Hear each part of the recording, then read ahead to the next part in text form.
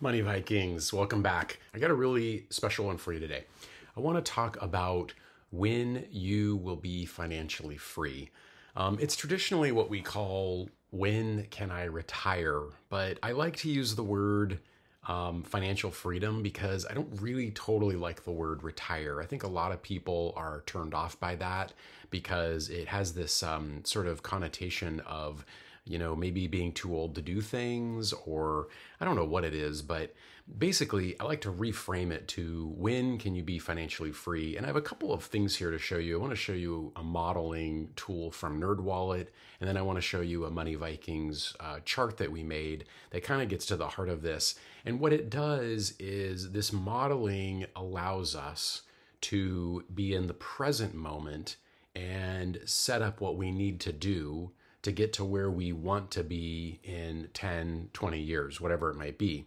And a lot of this can be done you know with automation and can be done with without a lot of pain really as we go through so um, i thought of a new one recently. I'm going to call uh, money vikings is uh, it's we're calling it pop i'm calling it pop personal finance. And what that means is we're trying to make it interesting and fun and kind of uh, bite-sized chunks and nuggets of information that people can use to uh, build wealth. And you guys know that i love the comics and the pop art and uh, the cards and all the other stuff like that. but we also, you know, we also like to bring in the health aspect into what we call true wealth, right? Which is everything. It's your relationships, it's your hobbies, it's your, um, you know, you're building wealth in terms of the numbers and your personal finance, and then it's your health as well. So you take those four and you build them together. If you had one of those Venn diagrams or everything combined, um, I should put this in the in our book. Uh, if you put all those together, you have true wealth in the middle. So Anyway, um, with that, I want to talk about so, what do I mean by financial freedom or quote unquote retirement?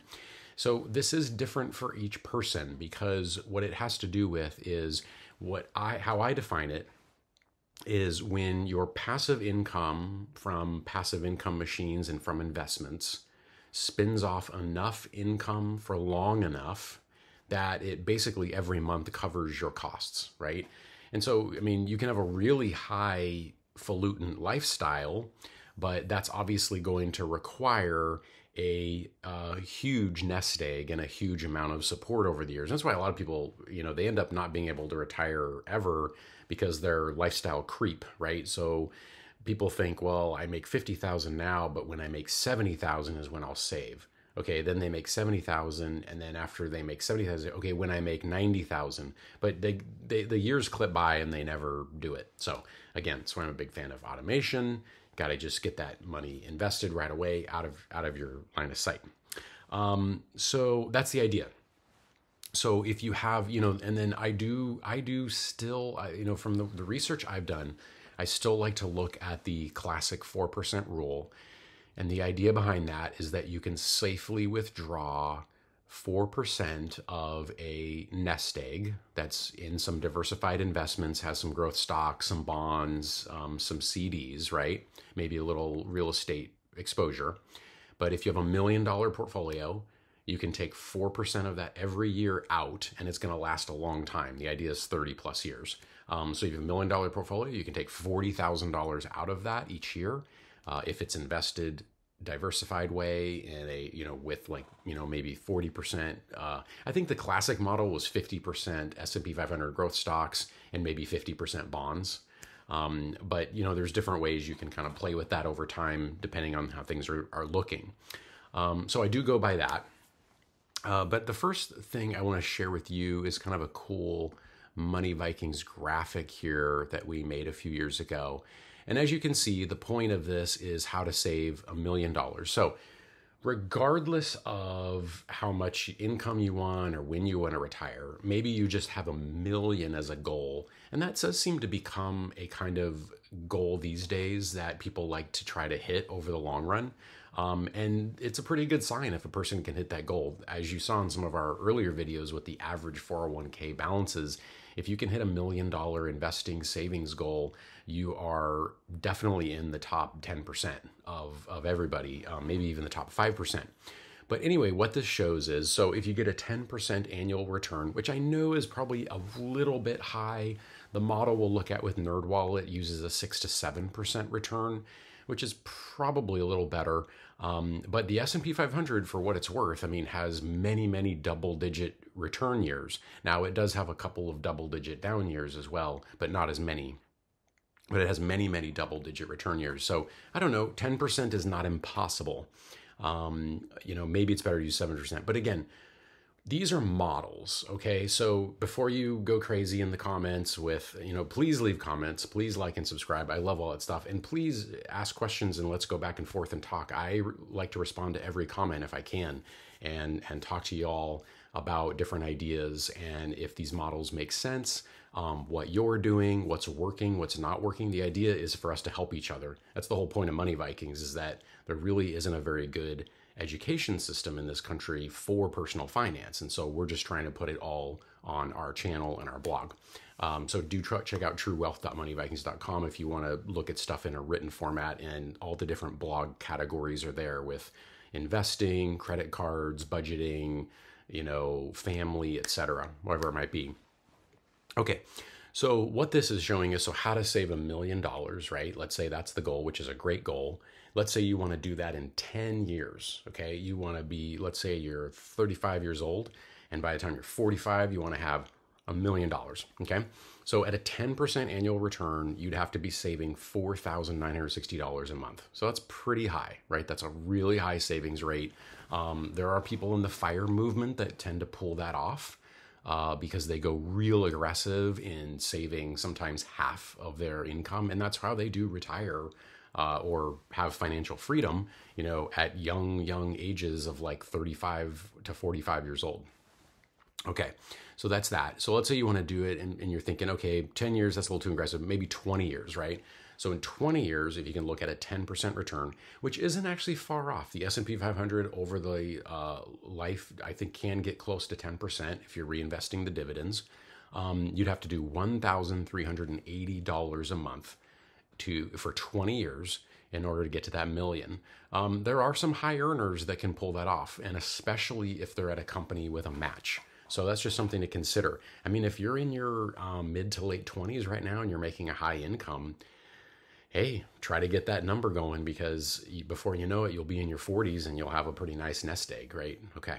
So that's pretty cool. If you want to do it in 30 years, it's only $481 a month. So this shows the, you know, the other thing that this totally shows, obviously, is the power of time, right? So the more time you have, really the less of a contribution you have to make because the time does all the work, the compounding does the work. And then if you want to do 40 years, which is a traditional, you know, working lifespan, if someone starts working at let's say 20 after college, and they work for 40 years until they're 60 or they get out of college let's say at 24 to 64 um, really for a million dollars they'd only need 179 dollars a month um, but as you can see the more one saves the faster to a million our little money vikings guy right there so that's the first thing i want to show you guys the second thing i want to show you i want to move this out of the way and i want to go to this here this is the nerd wallet uh, right here. It's the retirement calculator at Nerd Wallet. I like a lot of the Nerd Wallet stuff, the way it's set up and everything. So this I'm showing here. So this is, I'm just putting in a, you can put in your numbers here.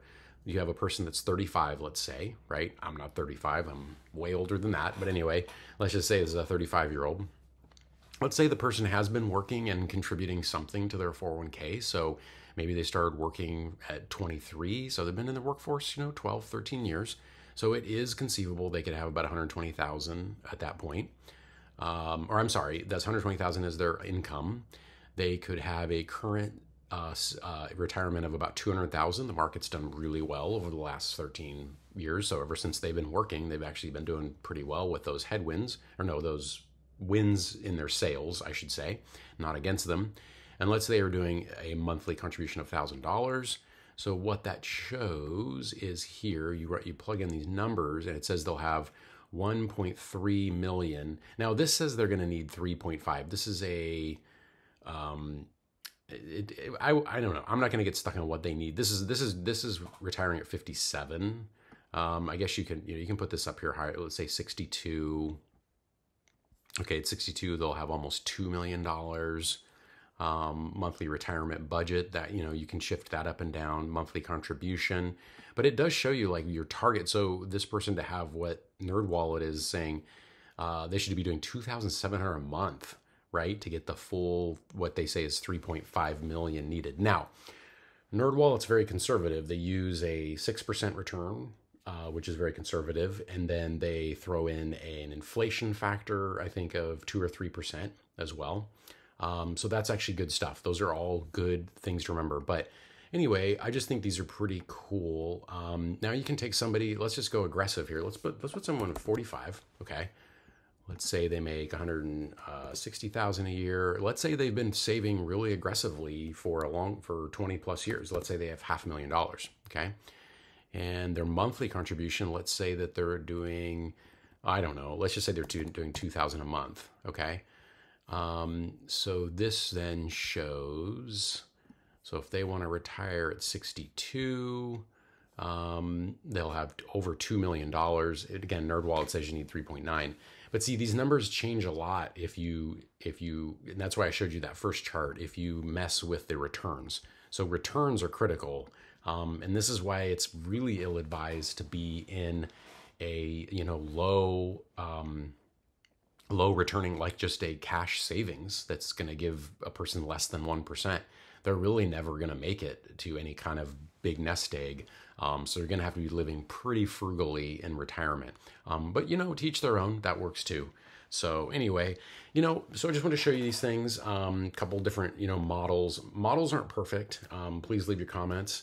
Um, models are to get us thinking in a certain way and to frame the issue and the problem. And the way I look at it, if you're doing something now, is better than nothing. And you're going to end up at a stronger, better place if you're doing something now and thinking now than if you just bury your head in the sand and never think about it. So I think, you know, 15, 20 years from now, you're going to be like, hey, it wasn't perfect, but at least I did something, right? And it made a difference.